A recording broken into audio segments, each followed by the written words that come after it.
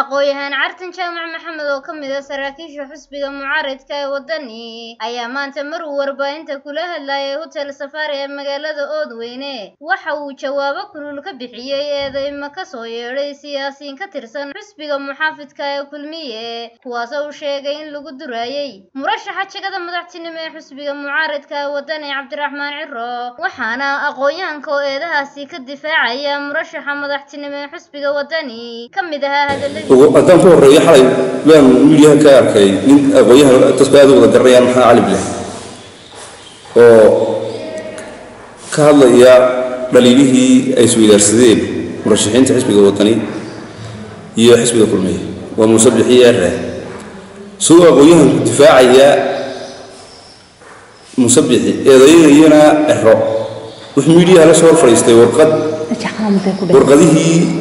fultiriga ahaa ee nabnabka ahaa ee photoshopka lagu sameeyey qaar ka mid a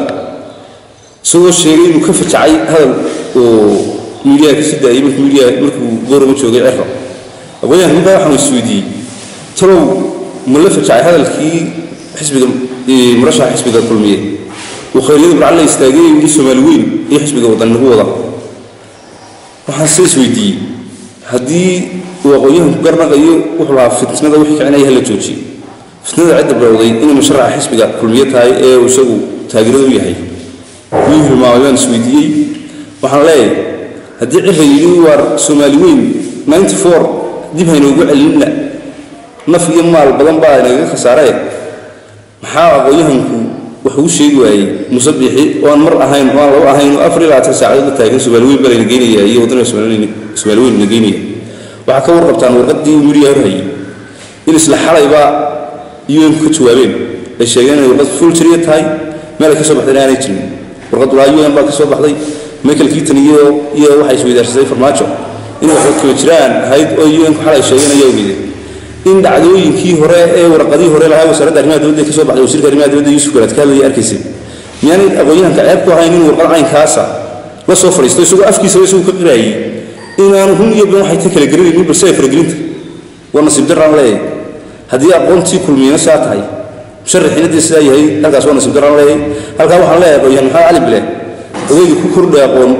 oo barnaamij la iibgeeyo inuu ku khudbadeeyo u sheeg. Kaarka iminka la isticmaalaya uu goobay afar iyo sagaashankii iyo kala qaybintii iyo kaartaagoodii qaaxo way soo dhammaatay. Dadka way ilbaxeen calan baa iminka jaan qaadayaa barnaamij dadka laga iibiyey iyo himilaa la doonaya in laysu sheego soomaali weyn baa layna geenaya dee dadku boorso maaha qarannimay qaateen way u codeeyeen madaxweynena ma geyn karo shaksi kalena ma geyn karaan leeyahay qarankay meel ka ku tahay halkaasoo noqnoqonaya magaalada xisbiga kulmay soo ilaalinaya taa intaasaan kaga tegayaa waxaan kaloo halkan doonaya inaan fariin uga diro shacabka gobolka daadmareer iyo guud ahaan ummadda somalilan waxaa ogsoontihiin markuu xisbiga kulmiye ka rajo gabay doorashada saddex iyo tobanka cisho ka hadheen inuu dad wasiira sheeganaya iyo dad cadowshaqaystayaalo adeegsanayo gobolladoo kala diray kuwaasoo dadka kaararka ka iibsanaya isla markaana jibinaya bulshada waxaan leeyahay kaarkiinaas waa mustaqbalkiinnii waa qarannimadiinnii waa muwaadinimadiinnii golo deegaan baa ugu codaynaysaan baarlaman baa ugu codaynaysaan madaxweynaha ugu codaynaysaan